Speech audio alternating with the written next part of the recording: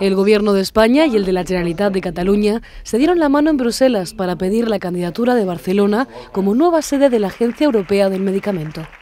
La ministra española de Sanidad, Dolors Montserrat, natural de Barcelona, insistió en que la EMA no tiene nada que temer por trasladarse a la ciudad condal, dado que la candidatura española es un proyecto de unión, y subrayó que todo en España está preparado para que la EMA se traslade inmediatamente.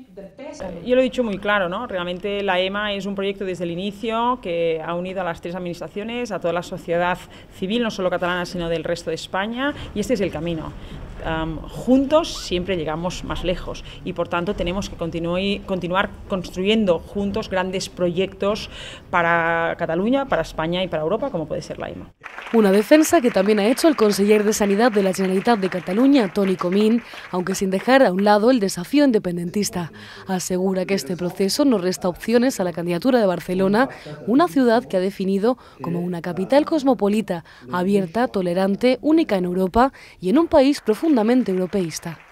Ámsterdam, Estocolmo, Copenhague y Dublín se perfilan como las grandes rivales de la ciudad condal y entre las 19 aspirantes a albergar la sede de la EMA, que deberá trasladarse de Londres, su actual ubicación, cuando el Reino Unido abandone la Unión Europea.